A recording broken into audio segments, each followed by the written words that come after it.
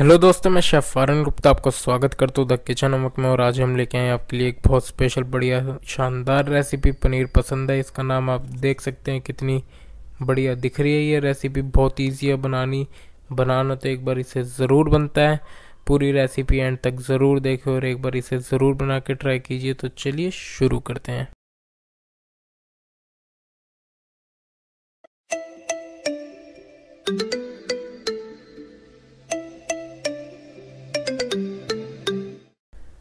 तो पनीर पसंदा बनाने के लिए सबसे पहले एक हमें पनीर लेना है और पनीर को हमें बिल्कुल स्क्वायर शेप में काट लेना है।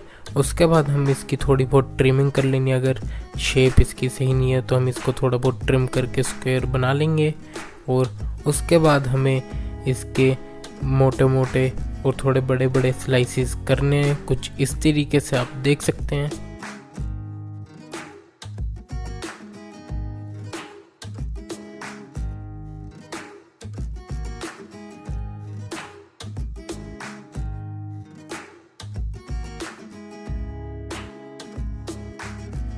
अब आप देख सकते हैं हमने कुछ इस तरीके से पनीर की स्लाइसेस सारी करके रख ली हैं।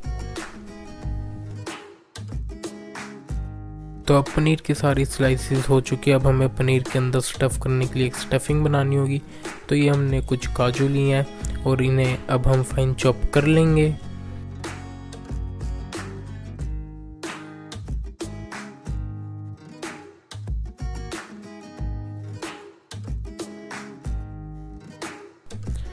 काजू हमारे फाइन चॉप हो चुके हैं। अब हम बादाम को भी फाइन चॉप कर लेंगे। यहाँ पे मैंने इनकी क्वांटिटी तीनों चीज़ की इक्वल है। अभी हम आगे किशमिश भी फाइन चॉप करेंगे।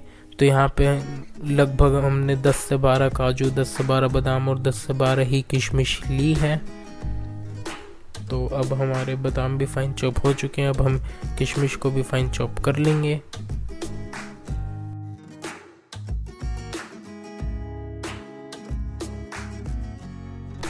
तो अब ये हमारी तीनों चीज़ फाइन चॉप हो चुकी है। अब हम एक बॉल लेंगे, उसके अंदर सबसे पहले हमने पनीर डाला है और अब इसके अंदर हम चॉप्ड किशमिश डालेंगे।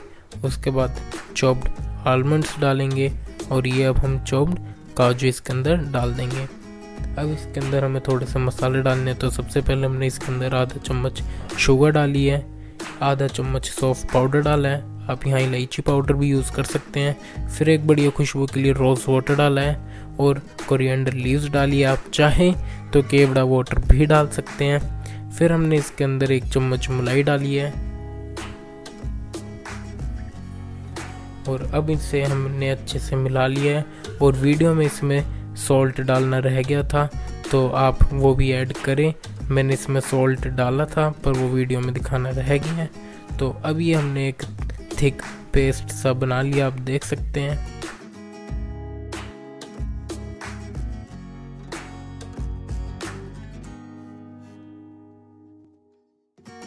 अब हम सबसे पहले वो पेस्ट बना के साइड रख देते हैं और तब तक एक प्याज हम चॉप कर लेते हैं। तो यहाँ पे हमने टोटल पाँच प्याज ली और इन्हें अब रफ चॉप करके हम उबालने के लिए चढ़ा देंगे। तो ये हमारी सारी प्याज चॉप हो चुकी हैं।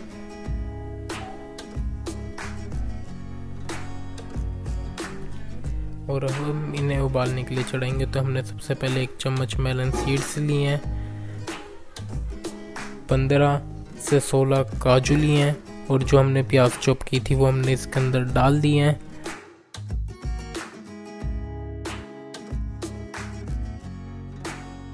अब इसके अंदर हम पानी डालेंगे और पानी हमें ज़्यादा नहीं डालना है। हमें पानी की क्वांटिटी उतनी ही रखनी है कि वो उबलते वक्त ही काफ़ी सारा उड़ जाए और हमें एक्स्ट्रा पानी फेंकना ना पड़े। तो ये अब हमने प्याज उबलने के लिए चढ़ा दिए हैं।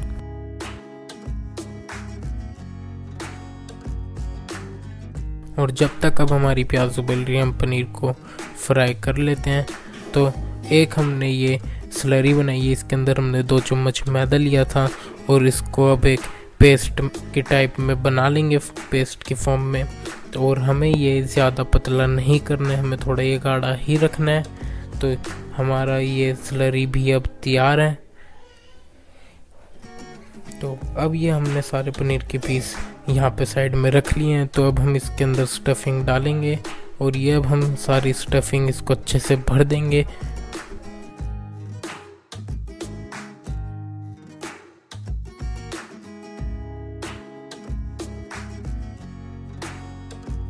अब आप देख सकते हैं कि मैंने कितने अच्छे से ये पनीर स्टफ़ कर दिया है। अब इसके ऊपर हम दूसरी स्लाइस रखेंगे और अब जो हमने स्लरी बनाई थी, हम उसके अंदर इसे डिप करेंगे।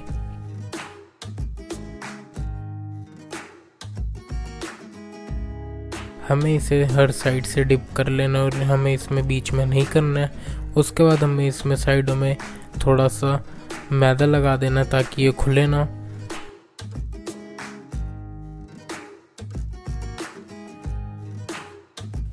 अब आप देख सकते हैं कि ये हो चुका है हमें एक्स्ट्रा जो मैदा है वो डस्ट कर देना है और अब हम इसे फ्राई करेंगे। आप ऑयल का टेम्परेचर मीडियम ही रखें।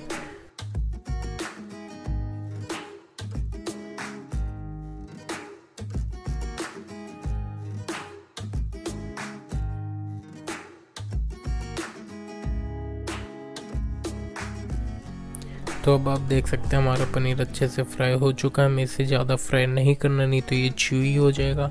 हमें इसे थोड़ा सा ही फ्राई करना है। और अब हम एक ऐसी दूसरा पीस भी तैयार कर लेते हैं। आप देख सकते हैं।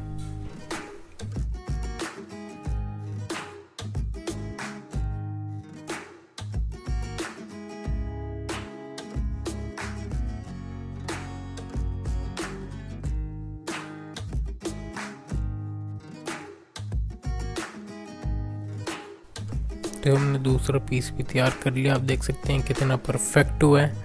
तो अब हम इसे भी फ्राई कर लेंगे।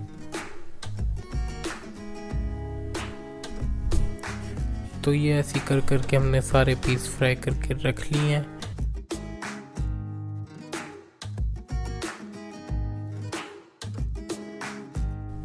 और अब हमें इसे काटना है। हमें थोड़ा सा ठंडा होने के बाद ही इसे काटना है। और आप देख सकते हैं कि ये कितने परफेक्ट हुए हैं। अब हमें इन सबको ऐसे करने के बाद साइड में रख देना है और ग्रेवी की तैयारी करनी है। मैं एक बार आपको दिखा देता हूँ कि ये कितने अच्छे से फ्राई हो चुके हैं और कितने अच्छे से ये स्टफ़ हुए हुए हैं। तो ये आप देख सकते हैं कि कितने अच्छे लग रहे हैं। तो हमारी प्याज भी अब उबल चुकी हैं और ठंडी हो चुकी है तो हम इसको अब पीस लेंगे। ये हमने सारी प्याज डाल दी और अब एक हमें इसका पेस्ट बना लेना है।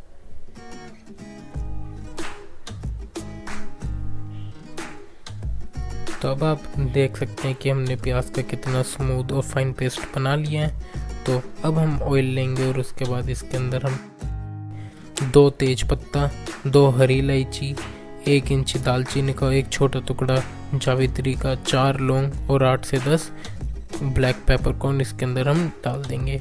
अब हमें इसे थोड़ा सा सोते कर लेना है और जब ये मसाले कड़क अंदर हम जिंजर डालेंगे और यहाँ पे मैंने जिंजर को अच्छे से घिस लिया था और अब ये हम इसको थोड़ा सा सोते करेंगे और जब जिंजर सोते हो जाए, उसके बाद हम इसके अंदर अनियंस की प्यूरी डाल देंगे, जो हमने वो प्यूरी बनाई थी।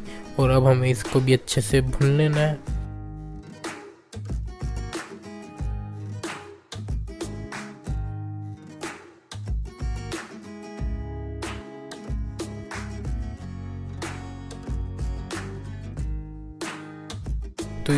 ये हमने अच्छे से मिक्स कर दिया और अब हम इसको ढक्कन लगा के थोड़ी सी देर के लिए छोड़ देंगे, तीन से चार मिनट के लिए। तो ये हमारी अब हाफ़ डन हो चुकी है। अब इसके अंदर हम जो स्टफिंग हमारी बची थी, वो इसके अंदर डाल देंगे। इस काफ़ी सारे नट्स और रोज़ का फ्लेवर वगैरह भी इसके अंदर आ जाएगा। तो आप लेफ़्ट ओवर स्टफिंग को इसके अंदर ही डालें और थोड़ा सा इसको चलाने के बाद हम इसके अंदर दही डालेंगे और टेम्परेचर बिल्कुल लो कर दे। जब आप दही डालें और दही हमेशा फेंट के डालें तो यहाँ पे टोटल मैंने एक कप दही यूज़ किया। ये 200 ग्राम के आसपास ये दही थी और हमने इसे थोड़ा थोड़ा करके डाला है।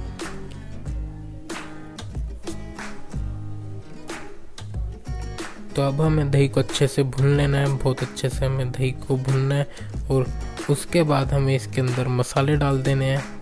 तो ये सबसे पहले मैंने कश्मीरी रेड चिली लिया है, रेड कलर के लिए। थोड़ी सी रेगुलर रेड चिली पाउडर लिया है और ये हमने टर्मरिक पाउडर लिया, ये थोड़ा सा ज़्यादा डलेगा और ये हमने नमक लिया है। अब हमें इसको अच्छे से चला लेना और इसको हम देखना है कि इसका कैसा कलर आ रहा है। और इसमें बाकी एक्स्ट्रा मसाले कोई भी नहीं जाएँगे, धनिया पाउडर वगैरह तो ये आप देख सकते हैं, कलर थोड़ा सा कम लग रहा था तो मैंने हल्दी पाउडर और कश्मीरी रेड चिली पाउडर थोड़ा सा और डाल दिया है।